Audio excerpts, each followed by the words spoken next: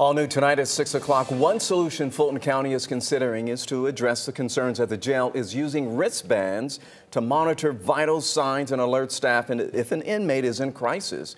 Well, the program was supposed to start three months ago, but as the 11 Alive's Bo Beth Yates discovered, it never happened. And tonight she's holding the powerful accountable to find out why.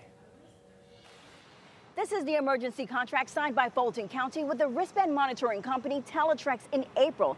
It states the system was supposed to be installed and running within 10 weeks, but that deadline came and went in July, and the system still is not up and running. In April, after details surrounding the investigation into an inmate who died amid an insect infestation in his cell were released, Fulton County Sheriff Pat Labat went to the Fulton County Commission to discuss how the Talitrix system could help monitor inmates' health using a device similar to a smartwatch that tracks inmates' vitals and alerts staff if someone is in trouble. But it is that emergent need that brings me before you now because if we don't do something, people will continue to die at the Fulton County Jail, and I need your help curtailing that. Commissioners approved the plan that day with nearly $2 million in emergency funding. According to a copy of the contract that 11 Alive obtained, the funds would pay for 1,000 watches for Rice Street inmates, as well as the installation of the system, which should have been live within 10 weeks. We authorized an excess of $2 million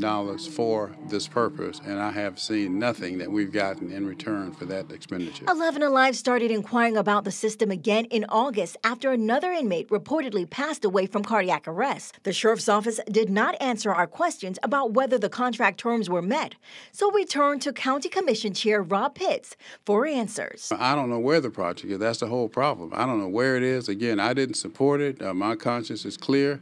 Someone needs to come forward and tell us, you know, what's happened with the two million plus dollars that we spent to buy these bracelets. Talitrix CEO Justin Hawkins confirmed that 15 devices are being used at the Fulton County Jail Annex in Alpharetta, but according to the contract, the emergency funding was specifically allocated for devices to be used at the Rice Street Jail.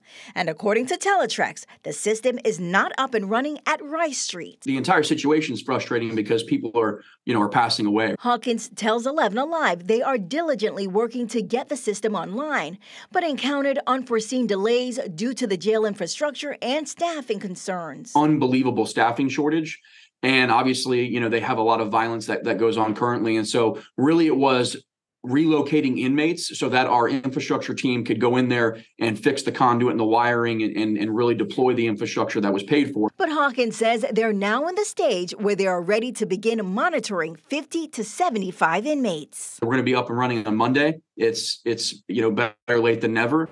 When it's all said and done, about 400 inmates in the medical and psych ward at Rice Street Jail will be monitored by the system. Now, we're going to continue to follow this and tell you if Monday they actually keep their word with the first group of inmates going live on the program.